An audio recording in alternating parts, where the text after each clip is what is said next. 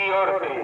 आम जनों से अपील है कि बिहार सरकार के आदेश के आलोक में दिनांक 31 मार्च 2020 तक। नमस्कार, मैं शमशी फिरदौस, आप देख रहे हैं बिहार टीवी। बिहार सरकार द्वारा लॉकडाउन घोषित किए जाने के बाद नालंदा के लोग बेखबर दिखे। दुकानें खुली रहीं और सड़कों पर आम दिनों की तरह वाहनों का परिचालन जारी रहा। हालाँकि इस बाबत जिला प्रशासन द्वारा लगातार माइक द्वारा अनाउंसमेंट किया जा रहा था कि किन किन चीज़ों का परिचालन होना और किन किन चीज़ों को बंद कर दिया गया है। बावजूद इसके लोग आदेश का उल्लंघन करते हुए दुकानों को खुला रखकर वाहनों का परिचालन कर रहे थे। उसके बाद जिला प्रशासन ने सख्त रुख इख्तियार करते हुए खुली दुकानों को बंद करार सड़कों पर चलने वाली गाड़ियों को रोक दिया। इस दौरान पुलिस को लोगों पर लाठियाँ बरसानी पड़ी। स्थिति का जायजा नालंदा के डीएम और एसपी ले रहे थे और लोगों से अपील कर रहे थे कि ऐसे आपदा की घड़ी में आप लोग लॉकडाउन का पूरी तरह से पालन करें। धन्यवाद। इसी प्रकार की ताज़ा खबर तुरंत पाने के लिए हमारे YouTube चैनल को सब्सक्राइब करें और बेल आइकन पर प्रेस करना ना भूलें। अधिकारी लगातार लगे हैं सड़कों पर। हम और एस साहब लगातार घूम करके देख रहे हैं कि किस प्रकार की दुकानें खुली हैं। तो लोग पा रहे हैं जो आवश्यक वस्तुएँ हैं, जैसे डेयरी आइटम्स हैं या खाने पीने का है।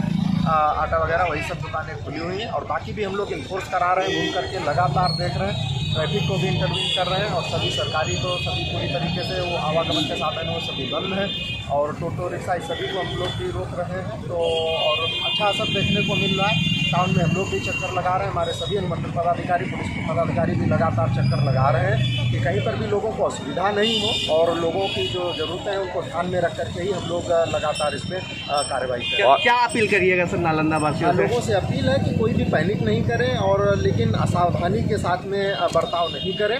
खाने पीने की चीज़ों की कोई ऐसी किसी भी प्रकार की दिक्कतें नहीं हैं। और ऐसा नहीं है कि भीड़ में जा कर के या अनावश्यक दुकान पर भीड़ लगाए, इकट्ठा होकर के जाएँ तो ये सब नहीं करें।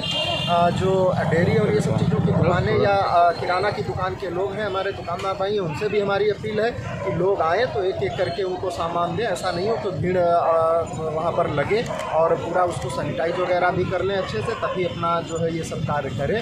लोगों से अपील है कि बाहर नहीं निकलें अनावश्यक किसी भी तरीके से जब बहुत ही ज़रूरी हो चीज़ों की तो ही अपना ले आकर के अदरवाइज़ बाहर नहीं आए किसी भी प्रकार से। नालंदा में अब तक कोरोना के कितने मरीज़ पाए गए हैं पॉजिटिव केसेस हमारे यहाँ कोई भी नहीं है और एहतियात के तौर पर जितने भी लोग बाहर से हमारे यहाँ पर आए हुए हैं हम लोग सभी को स्क्रीन कर रहे हैं और उनको आइसोलेशन के साथ ही हम लोग होम क्वारंटाइन किए हुए हैं ताकि जो कम्युनिटी स्प्रेड है वो किसी भी प्रकार से मिठाई वगैरह या रेस्टोरेंट वगैरह खुले हुए हैं उनको बंद करवाया जा रहा है। तो लॉकडाउन में किन किन चीज़ों को बंद कराना है? जो आवश्यक सेवा है उसको छोड़कर।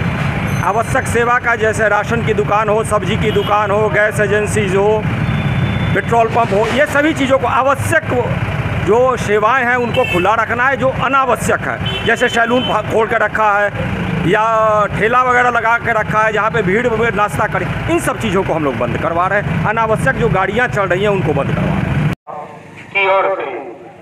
की से अपील है कि बिहार सरकार के आदेश के आलोक में दिनांक 31 मार्च 2020 तक जिला के सभी restaurant, hotel, marriage hall, banquet hall इत्यादि बंद रहेंगे। लोकल बस, टेंपू इत्यादि सर्विस बंद रहेगी। सभी आमजन सामाजिक दूरी बनाए रखेंगे। सभी मंदिर के